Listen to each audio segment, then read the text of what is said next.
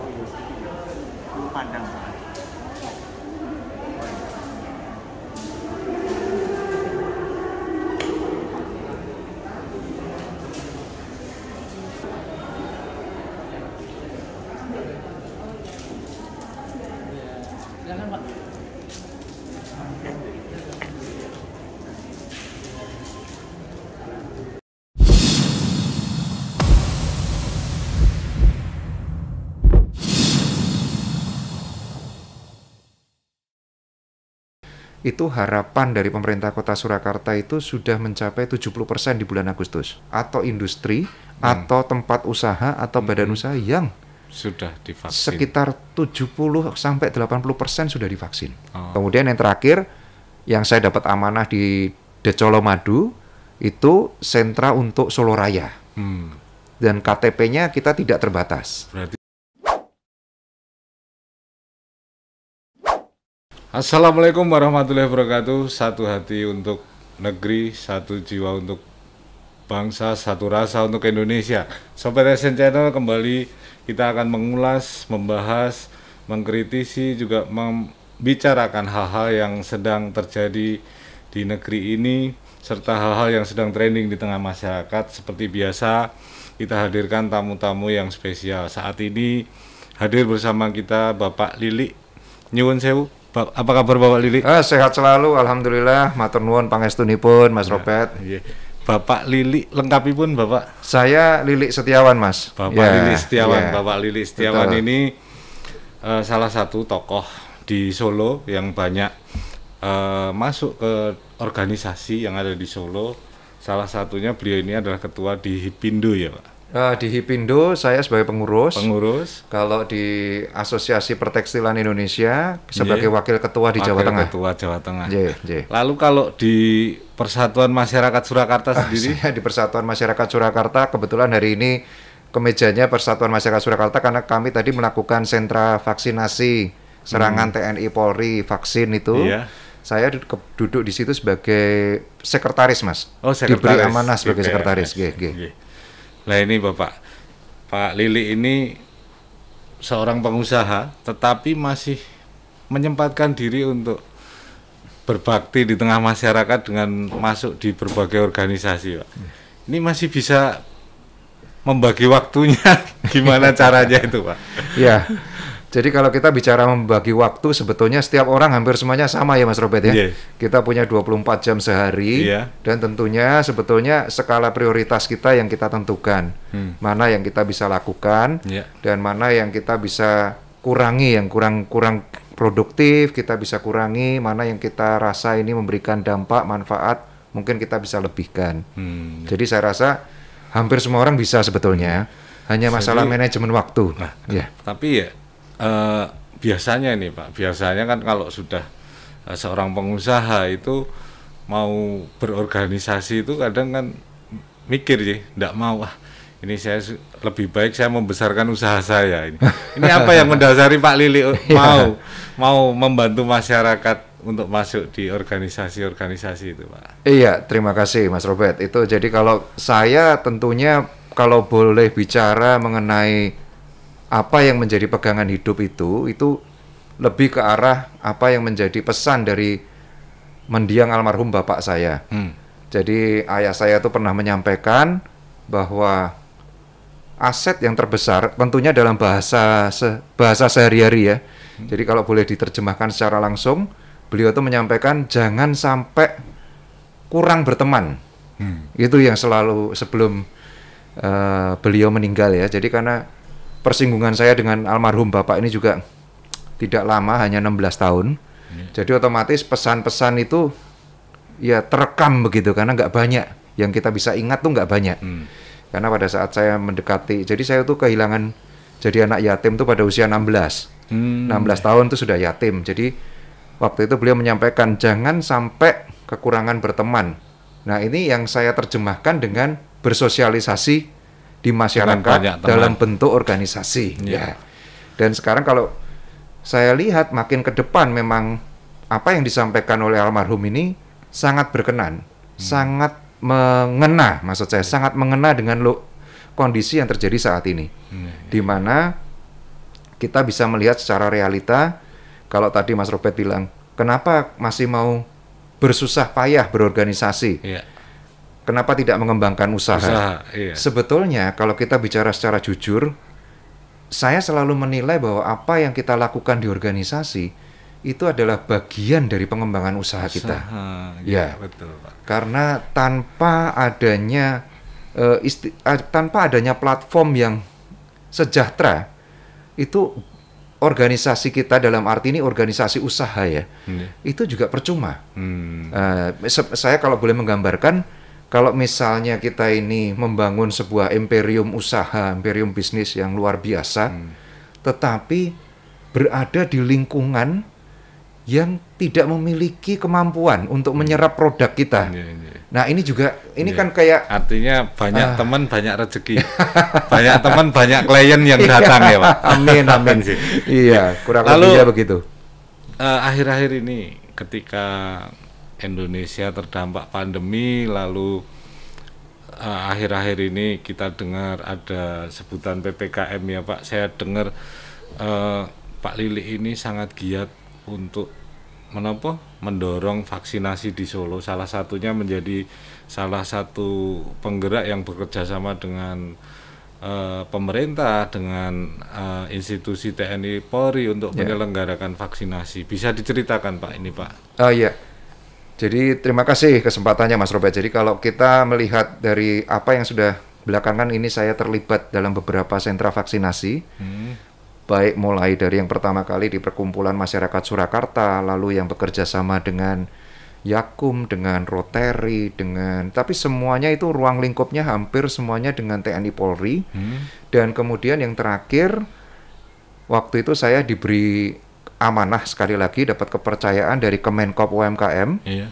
Waktu itu memang langsung kita bertemu secara online, secara tertutup, kemudian diminta untuk memegang sentra vaksinasi di Solo Raya Hmm. dari Kemenkop UMKM. Jadi setiap kementerian itu kan lembaga dan kementerian termasuk TNI Polri itu kan mendapatkan jatah vaksinasi, Mas. Hmm.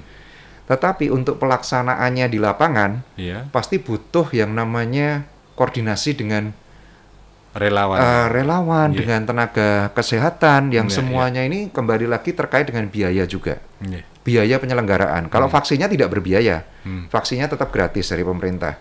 Nah ini biayanya kalau yang penyelenggaraannya sendiri biayanya dari pemerintah atau dari swadaya masyarakat? Dari swadaya. Jadi kita Oh, meminta.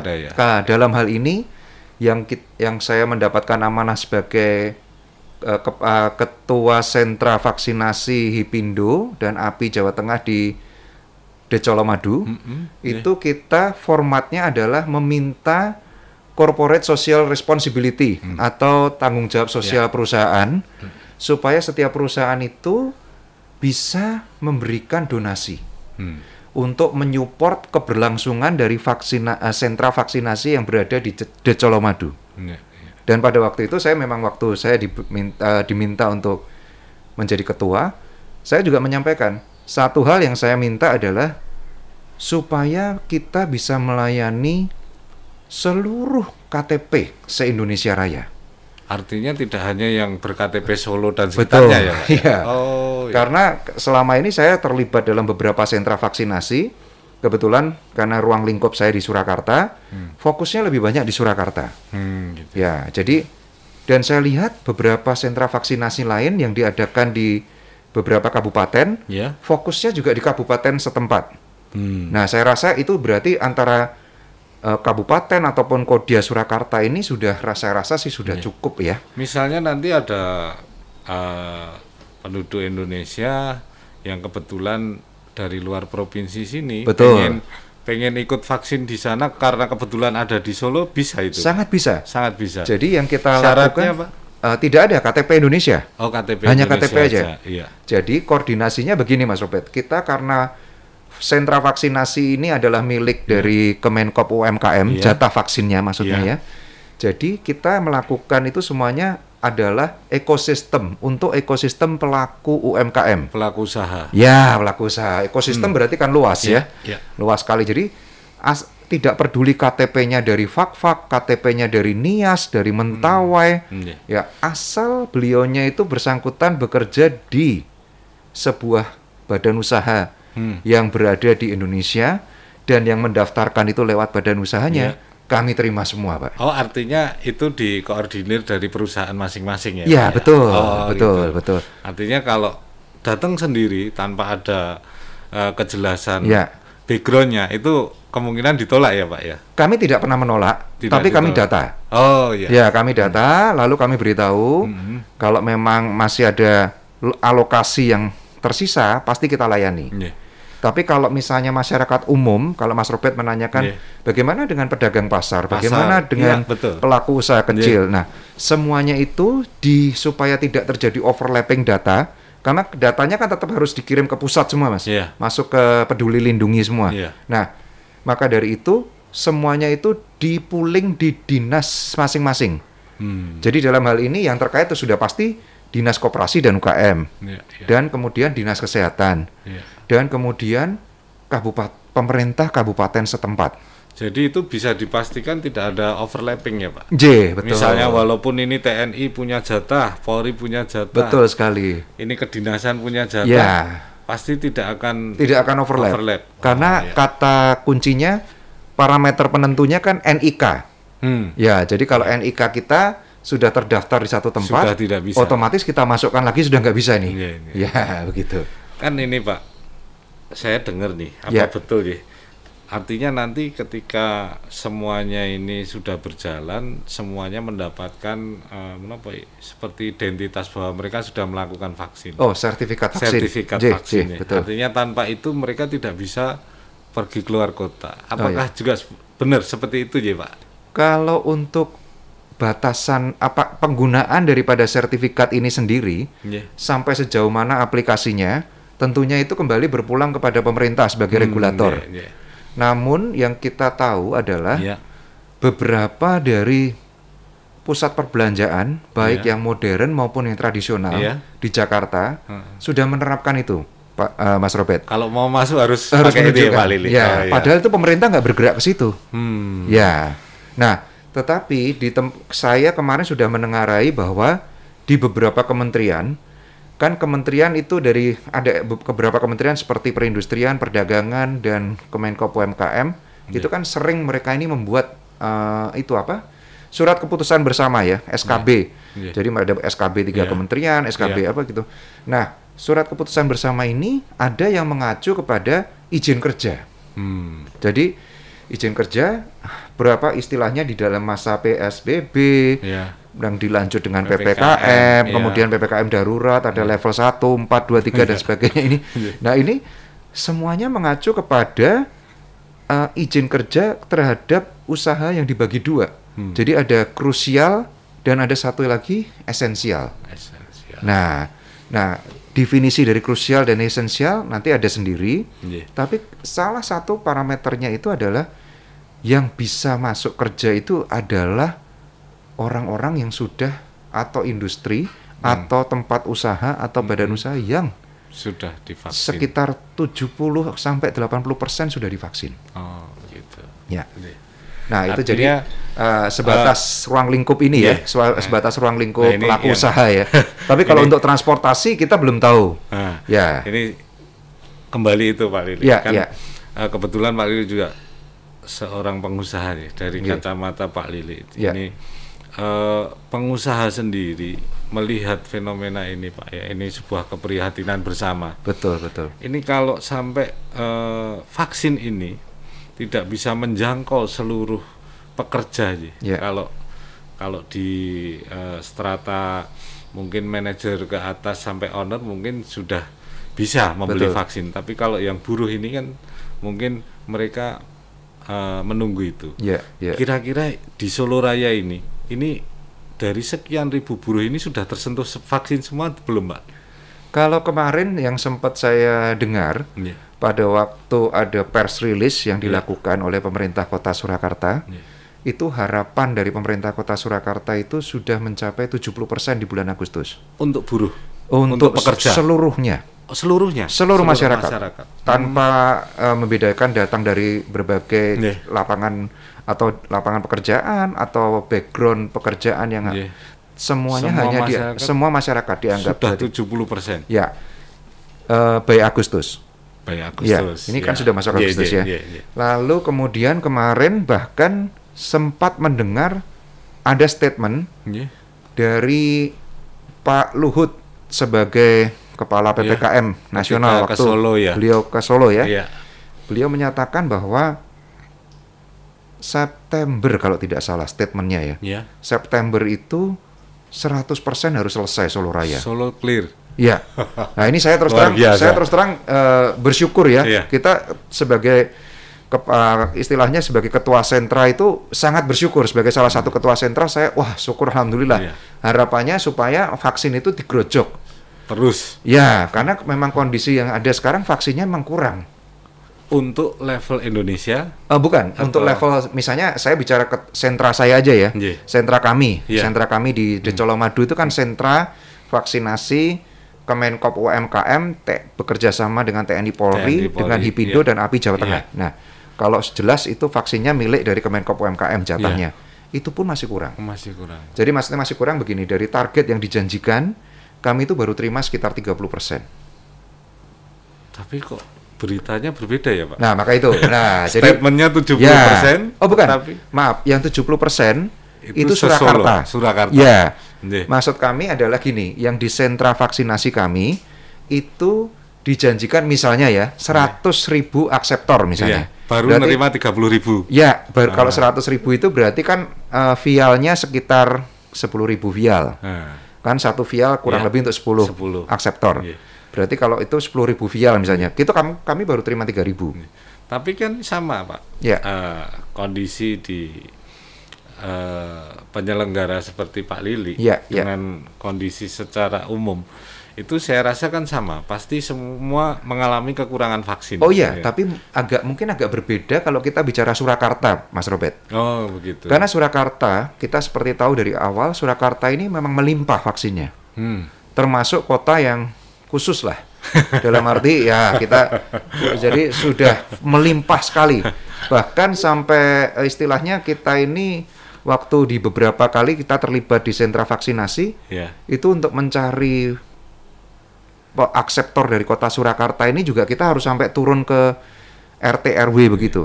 Artinya Ya, perlu karena perlu disyukuri ya, Pak. ya perlu disyukuri, sangat banyak, perlu. Banyak pejabat eh, dari kementerian, Ya, ya. banyak pejabat dari TNI Polri Ya. yang datang ke Solo Betul, ternyata betul. membawa berkah juga ini. J, betul. Artinya Tapi kita me- diistimewakan yang di Ya, Solo. tapi walaupun kita walaupun kota Surakarta itu aman dalam arti sudah menik- masuk ke 70% mungkin ya. Ya.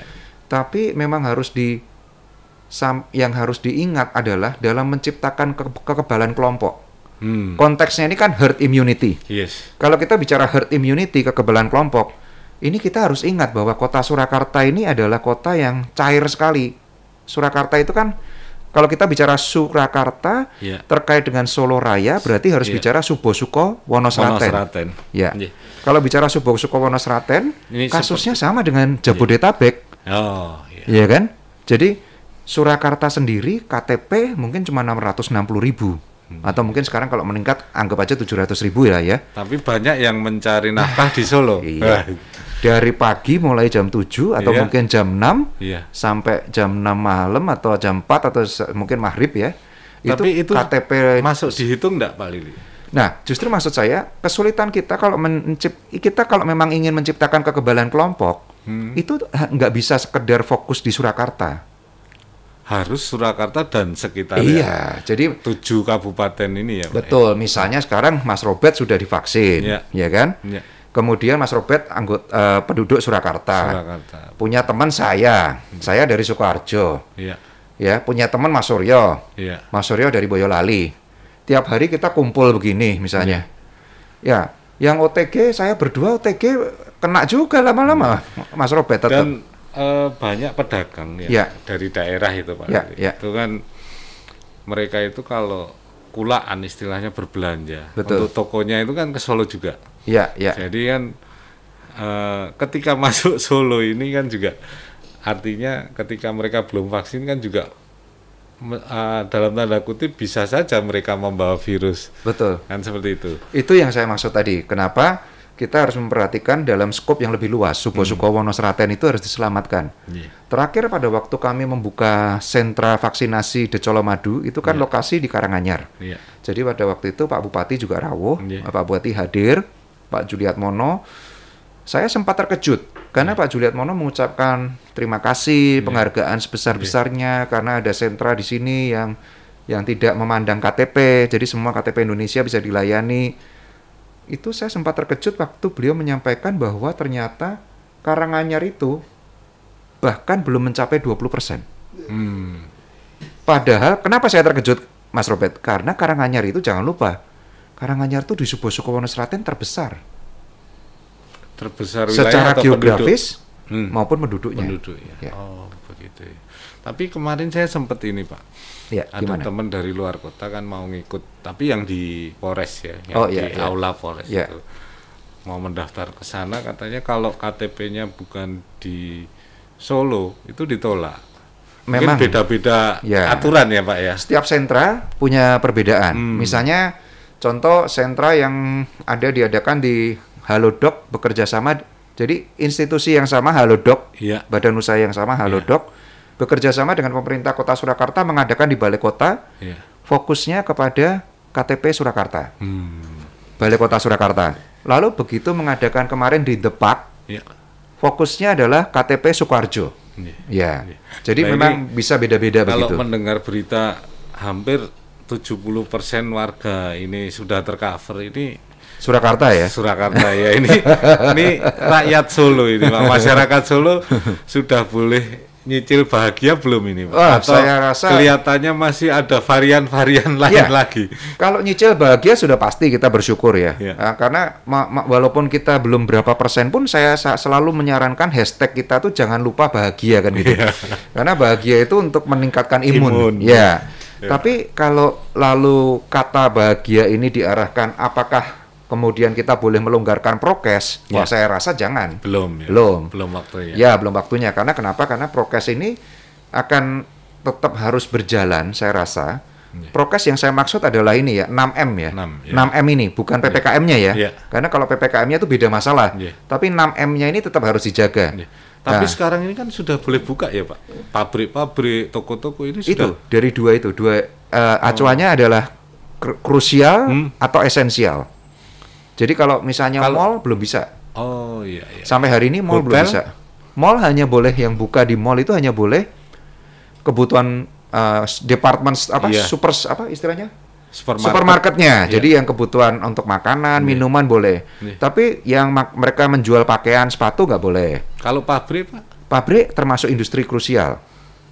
pakaian Ada tekstil krusial dan misalnya. esensial. Ya. Ya. Tekstil itu kan termasuk pokok Esensial. ya. Harusnya Es- begitu. Iya, karena Ya, kan ya. eh, sandang ini Sandang. salah sa- primer ya. Primer, ya. Iya. Betul. Tapi kalau yang pabrik misalnya ini pabrik apa eh, mebel misalnya. Nah, itu, itu belum bisa ya, Pak. itu harusnya masuk ke esensial ya. Harusnya masuk yang bukan krusial tapi esensial. Esensial. Ya, tapi tentunya dalam pembedaannya itu pun juga ada beberapa tadi yang saya utarakan. Hmm. Ada salah satu parameternya juga menyangkut berapa banyak karyawan yang sudah divaksin. Hmm. Ya, Berarti vaksin ini bukan sebuah jalan keluar untuk membalikkan keadaan lagi bekerja seperti semula ya, Pak ya. bekerja seperti semula saya rasa tetap harus bisa ya. Hmm. Tetapi maksud saya kalau bekerja seperti semula dalam arti tanpa prokes 6M, Ya. saya rasa nggak mungkin. Hmm. Saya rasa ini akan jadi kebiasaan baru. Hmm. Akan jadi kebiasaan baru di mana kita ini harus selalu pakai masker, Karena hidup berdampingan Yes, ya, dengan pandemi. di mana kita selalu Covid. ya cuci Iya. tangan, Iya. eh, hand sanitizer semprot-semprot. Ini saya rasa akan akan akan menjadi sebuah Tapi- kebiasaan baru. se- secara pribadi Pak, Ya. Lilik yakin enggak ini ketika nanti eh, di lingkungan menapa? Di lingkungan pekerja, di lingkungan pedagang ini sudah ter- tervaksin ya. Ya, ya. Eh, apakah nanti juga ada kelonggaran ini bagi perusahaan maupun pedagang ini untuk bekerja kembali seperti semula walaupun nanti ada aturan-aturan prokes yang ketat. Saya saya kalau bicara mengenai keyakinan apakah itu akan terjadi, saya yakin. Hmm. Tapi kalau saya ditanya kapan itu terjadi, itu yang kita tidak tahu. Hmm. Tetapi saya adalah di bagian masyarakat yang mendorong Ke supaya itu. itu. terjadi. Hmm. Ya, kalau ditanya begitu. Karena kenapa? Karena kita tidak bisa bertahan dengan kondisi seperti ini terus. Betul, Pak. Ya, tapi saya juga tahu beban berat pemerintah juga kita tahu antara melonggarkan ppkm dengan mengorbankan ekonomi ini dua-duanya buah si malakama ini. Iya. Jadi dilematis. Ya, Jadi artinya memang eh, vaksin ini belum bisa melepas menapa ya eh, penyekatan atau ppkm kemarin artinya ini belum Yes. bisa dilepas 100%. 100% tidak bisa. Tapi saya rasa kalau semua sudah divaksin, semua ya dalam Ya. arti semua atau katakanlah nggak usah semua deh, 70% Indonesia divaksin 70%. misalnya. Iya. Itu berarti kekebalan kelompok diharapkan sudah berjalan. Hmm. Sebetulnya kan kalau kita divaksin pun ini kan tidak menjamin kita tidak tidak akan terjangkit, Hmm. tidak akan terpapar. Enggak juga. Ini- Cuman bedanya kalau kita sudah divaksin itu kalau terpapar Iya. diharapkan tidak fatal. Hanya begitu Mas Robert. Hmm, walaupun mempunyai penyakit bawaan ya, Pak. Ya, harap uh, kalau penyakit bawaan komorbid kita harus memang harus konsultasi ke dokter. Oh, iya, iya. Apakah boleh divaksin atau tidak? iya. Ya. Tapi ini Pak Lili yang banyak bergaul dengan eh, tenaga kesehatan, Nggih, nggih. eh, ada berita seperti apa Pak setelah ini Solo ini 70% tervaksin. Ya. Itu apakah juga kelihatan Pak grafiknya bahwa pende, apa eh, yang terpapar Covid yang masuk ke rumah sakit, masuk ke menapa? Eh, ICU, instalasi yang gawat darurat. yang anu kemarin tuh Pak Oh. Ah, isolasi mandiri Isolasi mandiri, isolasi isoman, isoman. terpusat Ya, itu ya. apakah juga berkurang Pak Saya untuk angka pastinya belum melihat pengurangan. oh Ya, kalau kita lihat angka pastinya belum melihat terkurangan. Bahkan kalau kita lihat kan masih angkanya masih ada kenaikan sedikit. Tetapi kalau melihat dari beberapa tempat rumah sakit yang sudah memulai membongkar, kemarin Muardi sudah membongkar kan ya, bangsal daruratnya. oh Nah, itu menurut saya sudah pertanda baik. ada tren positif Ya, berarti kan Ya. tidak perlu sampai bangsal darurat dalam bentuk kemah itu Iya, kan sudah dibongkar. Iya, iya, iya. Nah, itu kita harapkan itu sudah satu arah yang positif.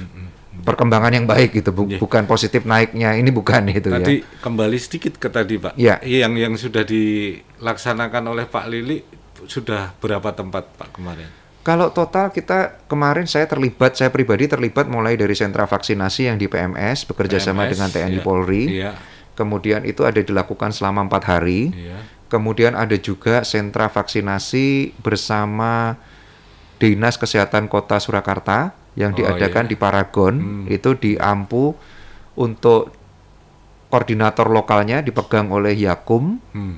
eh, kemudian ada PMS dan ada Rotary. Ya.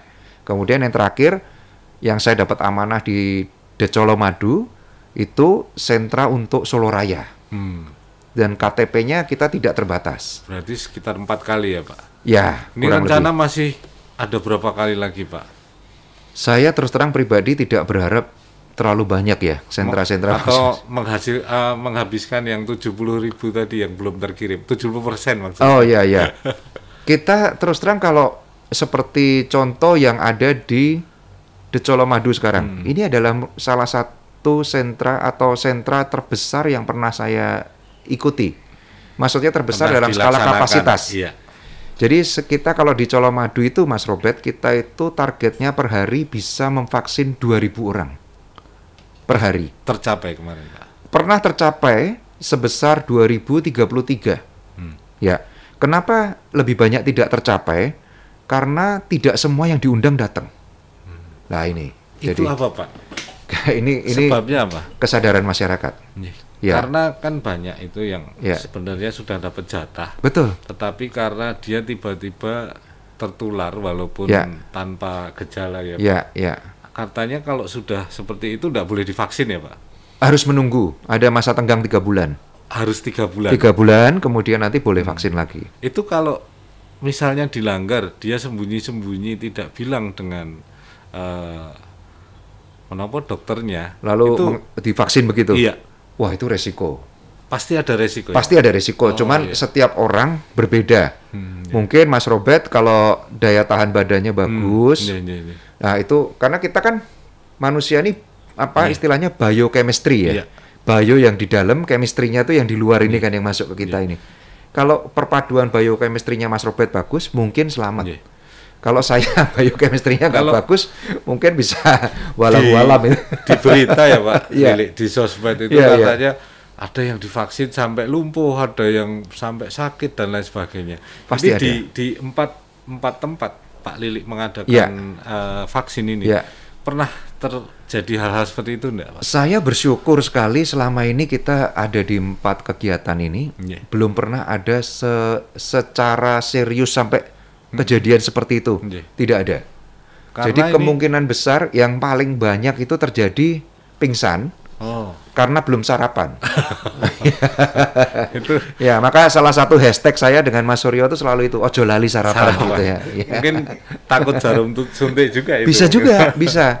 Ya karena beberapa itu juga unik Mas Robert. Jadi mereka ini eh, akseptor ini yang berangkat tiba-tiba dari Iya. rumah bagus, tidak ada pernah masalah tensi.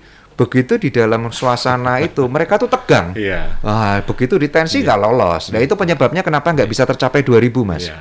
Karena kalau udah tensinya tinggi, Iya. biasanya kita berikan kesempatan istirahat dulu. Iya. Lalu Kalau diambil lagi, tapi tetap aja tinggi. Kalau yang tidak hadir ini kemudian dianggap tidak hadir diberikan ke orang lain atau mereka tetap nanti suatu saat dipanggil lagi, Pak? Oh, karena kita kan tersentral Iya. melalui dinas. Iya. Kebanyakan kalau perusahaan Iya. Yang memvaksinkan karyawan Iya. atau eh, istilahnya keluarga stakeholdernya Iya. kelur- daripada badan usaha itu Iya. hampir 100% pasti hadir. Oh, pasti hadir. Pas tertolaknya itu mungkin karena Iya. batuk, pilek Iya. atau tensinya tinggi. Iya.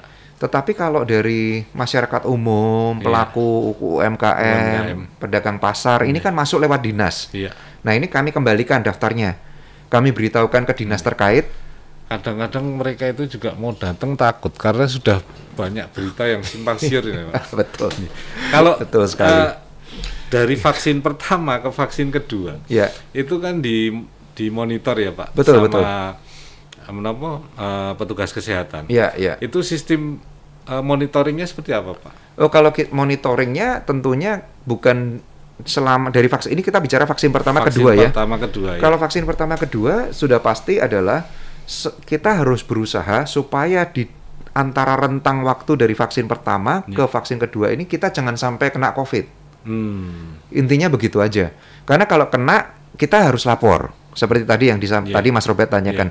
Kalau bisa kerap, tetap harus lapor karena keterbukaan itu jauh lebih aman. Hmm. Lalu menunggu tiga bulan untuk ikut sentra vaksinasi yang Vaksin lain. yang lain. Ya. Oh, iya. Tapi kalau tidak terjadi apa-apa aman. Iya. Ya. Artinya kalau sampai terjadi gejala-gejala yang tidak normal, Ya. itu ada pantauan dari medis ya, Pak. Biasanya yang apa? melakukan vaksin ini. Oh kalau pantauan langsung tidak ada. Hmm. Selama rentang ini yang bertanggung jawab terhadap kita, eh, terhadap, terhadap misalnya saya nih penerima akseptor vaksin, Ya. saya divaksin hari ini sampai vaksin kedua, saya ini harus memastikan kalau terjadi apa-apa saya report. Hmm. Ya. Jadi kalau saya tidak report, mengambil risiko, ah udah isoman dua minggu juga udah aman. Jadi artinya ada ada pusat informasi yang mereka tahu ya, Pak. Iya, iya, Jadi iya. ketika mereka nanti eh, ada gejala yang tidak normal, bisa langsung melaporkan ke situ ya. Eh, secara secara ped- apa istilahnya secara aplikasi peduli lindungi itu bisa, Oh iya. tetapi kemungkinan yang melakukan pelaporan itu kecil sekali. Hmm. Kecuali kecuali yang bersangkutan dites. Oh. Kan banyak yang tidak tes, Mas Robert. Iya, iya. Jadi maksudnya gini, kecuali saya merasa badan saya nggak enak Iya. dan saya swab. Nah, itu langsung datanya kan masuk Iya. ke Peduli Lindungi. Iya. Semua rumah sakit kan memasukkan. Iya. Tapi kalau saya merasa, waduh ini saya kayaknya kena nih saya ini. Udah deh, saya isoman sendiri deh. Saya obati aja dua minggu di rumah gini gini gini. Terus setelah saya merasa enakan, saya tes lagi swab. Iya. Nah, pada saat swab ternyata negatif. Iya. Nah, kalau sudah begitu, datanya kita nggak masuk saya padahal udah pernah kena. Hmm. Tapi karena saya pada waktu kena tidak melakukan tes, itu data tidak masuk. Berarti kalau melihat cerita Pak Lili ini tadi, Ya, partisipan masyarakat cukup tinggi ya Pak untuk Harus, mengikuti vaksin ini. salah satu kesulitan kita terus terang adalah karena kemarin juga sempat dibahas di Pak Luhut pada waktu ada ratas. Salah satu kesulitan kita adalah sistem pendataan yang melalui get, eh, ini ya registrasi online. Online, ya. Apa? Nah ini yang menjadi permasalahan kenapa? Karena literasi level literasi digital masyarakat kita ini belum sampai semuanya ke situ. Kadang mereka belum mampu ya Pak. Nah iya, saya nggak usah bilang masyarakat yang lain. Saya ini loh, saya ini kalau sudah Males. phone- bukan males ya. Gimana? Kadang nggak ngerti gitu loh. Oh. Saya ini sudah saya sampai bingung loh. Ini yang masukin mana lagi ya? Iya, yang harus iya. dimasukin data mana lagi ya? Hmm, Membingungkan. iya, iya, iya. Ya. Jadi maksudnya kemarin kan sampai diutarakan Pak Luhut bagaimana caranya ini disimpelkan Hmm. sehingga ya ekstrimnya semua orang yang baru kenal gadget pun bisa pakai. Hmm. Jadi mereka yang baru bisa baru pegang dawai pun bisa pakai dengan Iya. mudah. Lah ini kok ada fenomena seperti ini Pak sampai Ya, TNI Polri melakukan eh, mendapat jatah vaksin sendiri, terus ada kedinasan mendapatkan vaksin sendiri. Apakah simpul-simpul dari eh, alur dinas kesehatan ini tidak mampu ya Pak? Misalnya kan di situ ada puskesmas, iya, iya. ada menopo rumah sakit. Betul, betul. Apakah selama ini mengcover itu tidak mampu sampai harus Ya. dimunculkan seperti ini? Kalau kita bicara secara jujur, kalau kita bicara seju- secara jujur, COVID ini ini saya mundur sedikit agak jauh nggak Iya, apa-apa ya Mas Robert iya, ya. Iya, iya Pak. COVID ini, COVID-19 ini kan sebetulnya wake up call buat kita. Ya, Ini adalah alarm yang kalau bicara secara kita mau pandang dari sudut positif, ini adalah memberikan pembelajaran buat kita. Hmm. Kita jadi tahu bahwa ternyata memang fasilitas kesehatan kita itu jauh, hmm. jauh dari layak. ya, ya. Ya, dalam arti begini, kita nggak usah jauh-jauh, kita lihat aja bor kita, bor, Hmm. bed occupancy rate-nya ya. untuk rumah sakit bangsal Ya. Itu ternyata tidak mencukupi untuk menjamin bahkan di level yang minimal. Hmm. Nah, bedanya kalau Mas Robert lihat, kalau lihat selalu sekarang kan di WA banyak sekali Iya, itu iya. beredar ya, Iya. di sosial media beredar mana eh, setiap hari peningkatan COVID di berbagai negara. Mas Robert lihat, Amerika itu yang kena ngeri, Mas. Hmm. Kita tuh sehari yang kena dulu kan 50 ribu aja udah Iya. kita udah panik kan ya. Iya. 54 ribu Iya. kita udah panik sekali. Amerika tuh sampai hari ini yang kena tuh 139 ribu, 140 ribu. Tapi kenapa mereka bisa sesantai itu? Ya, karena tetapi masalahnya adalah angka kematiannya kecil, Mas. Oh, Ya, bedanya di kita yang kena sedikit, angka kematiannya tinggi. karena fasilitas tadi ya. Yes. Jadi menciptakan kekebalan kelompok atau herd immunity tidak semudah yang kita ucapkan. Hmm. Beda. Karena fasilitasnya, infrastrukturnya belum terpandai, ter- belum. Tapi setelah ini saya yakin pemerintah pasti beda, Ya. pasti Nah. beda. Sampai kapan eh, vaksin ini digratiskan, Pak? Ada kemungkinan enggak mungkin besok kalau ini kira-kira sudah semua yang yang belum dapat ya ketinggalan kereta nanti akhirnya harus bayar enggak ya, Pak? Saya lihat tidak. Tidak saya ya? lihat justru eh, kalau saya tidak salah ya, Iya. nanti mohon dikoreksi. Iya. Justru kemarin kan ada wacana Kadin membawa vaksin gotong royong Iya. dengan harapan supaya Kadin membantu pemerintah untuk meringankan. Hmm. Jadi Kadin ini yang anggotanya asosiasi, Iya. asosiasi anggotanya perusahaan Iya. itu bisa membantu untuk memvaksinasi karyawannya Hmm. atau ekosistemnya. Iya. Nah, harapan itu kan ternyata kemarin setelah dievaluasi lagi, ternyata kan oleh pemerintah diputuskan ini justru berisiko. Hmm. Berisiko dalam arti nanti bisa memunculkan tadi yang Mas Robert bilang, ya kan? Overlapping atau Ya, seperti itu. ah, jatah vaksin bisa berebut Oh iya. An- antara yang merasa loh, gua bayar kok. Mas Robert nanti wah sebagai pihak yang Hmm. Jadi bayar sampai sekarang ini memang tidak ada vaksin berbayar ya. Tidak ada, kan sama pemerintah dibatalkan. Hmm. Sepengetahuan saya Iya, begitu. iya, iya. Tapi nanti perlu dicek lagi ya. Iya, iya. Sepengetahuan saya, pemerintah tidak mengizinkan. Iya. Jadi semua warga negara Indonesia itu akan divaksin dengan Iya. pola gratis. Ya, karena di eh, saya lihat di kampung saya itu. Pak. Dari lansia dulu, lalu dari pengurus PKK. Iya. Artinya digilir terus, Iya, tapi lama-lama nanti kan merata. kan. Betul, betul. Nah ini tadi saya lihat anak saya juga sudah eh, di sekolah itu sudah mau ada vaksin. Artinya Betul, betul. Memang memang ini apa pemerintah ini pakai full jurus. Jadi semua jurus digunakan Iya. agar segera tersampaikan ya Pak Lili.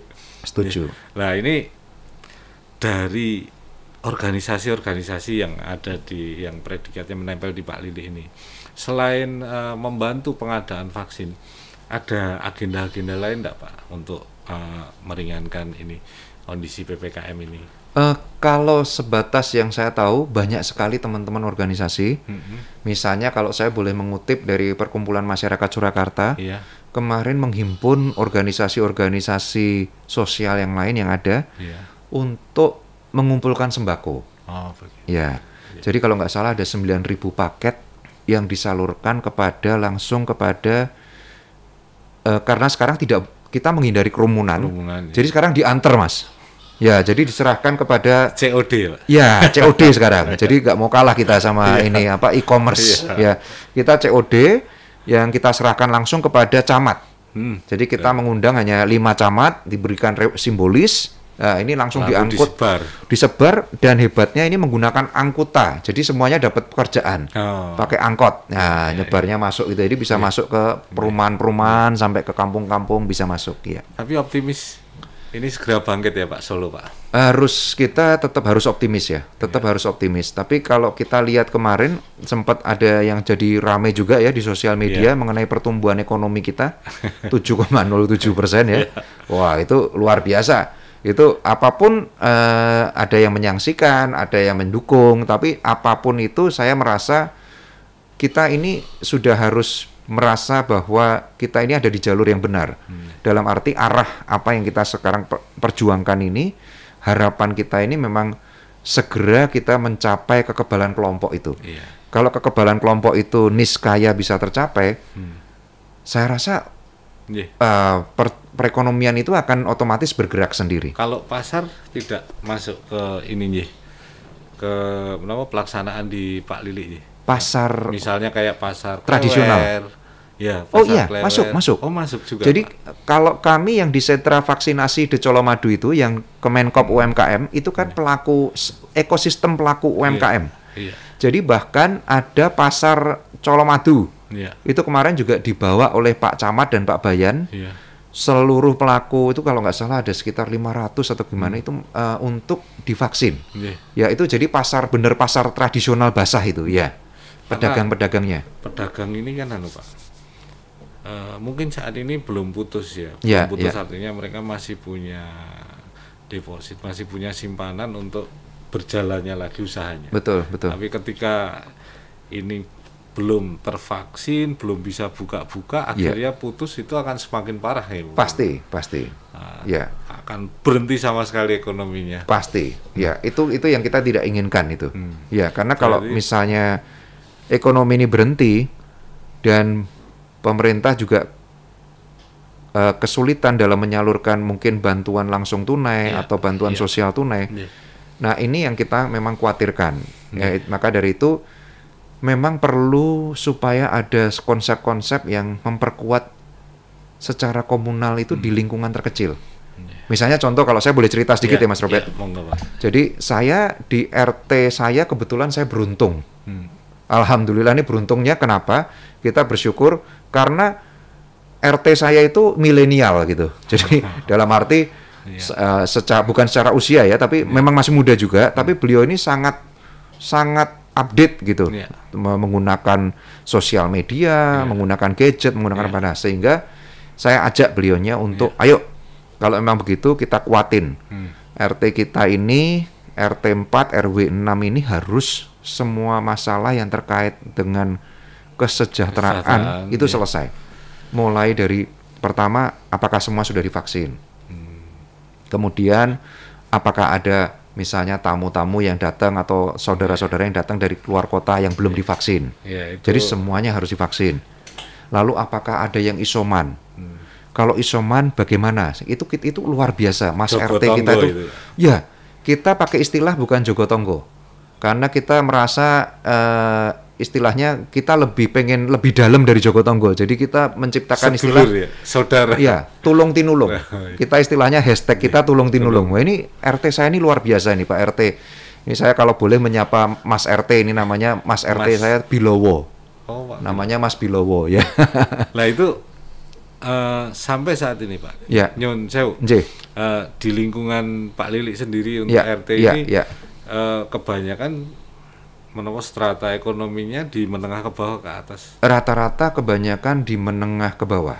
menengah ke bawah. Ya, ya. Artinya berarti eh, konsep yang dibangun Pak RT ini sangat membantu masyarakat Oh iya, yang betul. menengah ke bawah ini. Betul. Ya, Kita bersyukur sampai kita itu bisa mengajukan permohonan ya, daripada setiap keluarga yang kena itu isoman, ya. kita memohon karena ada gedung sekolah kan nggak dipakai, Mas. Hmm, Kita minta kita minta supaya gedung sekolah ini jadi pusat isola, isol apa isolasi, terpusat.